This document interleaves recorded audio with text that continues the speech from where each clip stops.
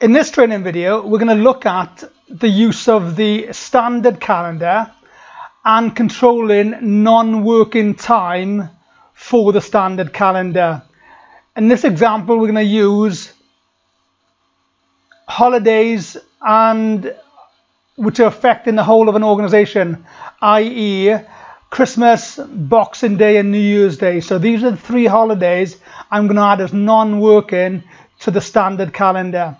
So whenever you're entering non-working time for standard calendar, ideally you should do it before you enter any resources or any tasks into a project because then the non-working time won't affect the the days within a calendar, the start and finish date. It's not going to affect duration because project doesn't count non-working, but it can affect the start and finish dates if you've already typed tasks in and you've got resources in. So the best time to add non-working time into a standard calendar is when there is no data entry. So that's the stage I'm at now. There's nothing been entered into this, into this project. I'm going to use a feature called change working time. Now this is the project tab, change working time. For the standard calendar, now with project by default comes three calendars. The 24 hour calendar, a night shift calendar, and a standard calendar. So the standard calendar settings are working to an eight hour working day. So we can say under exceptions, any part which is non-working for the whole of an organization, i.e. like uh, i.e. Christmas Day, Boxing Day, New Year's Day. So this is what I'm going to do in this example. I'm going to set three different holidays under exceptions. So this is what you would do for an entire organization. Now, if you're affecting a member of staff who had, for example, uh, sick leave, you would use the, the resource calendar exceptions, which means non-working, and you would put their sick leave against exceptions, but that would be for a resource calendar, i.e. HR advisor. But in this, in this calendar, we're affecting the standard calendar. So I'm going to put in some, some exceptions. So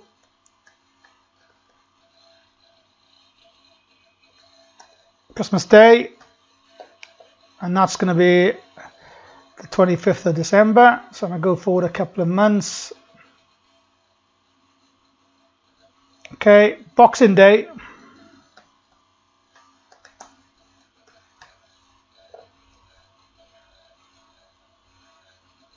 And again, a couple of months.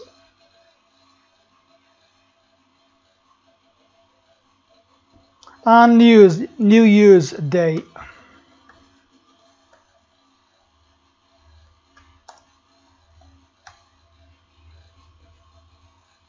and again a couple of months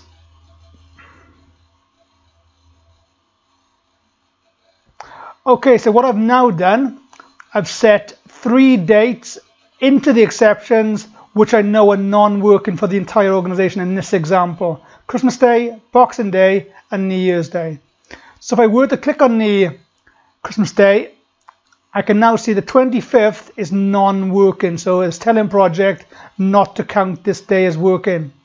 Boxing Day, it's the same, non-working the 26th. New Year's Day, the first, same, non-working. Now click OK.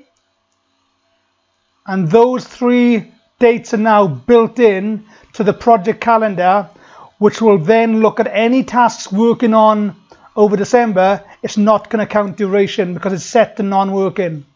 So this completes exceptions and non-working time for the standard calendar. If you enjoyed this video, make sure you like and subscribe to our channel. Hope to see you for the next tutorial and thanks for watching.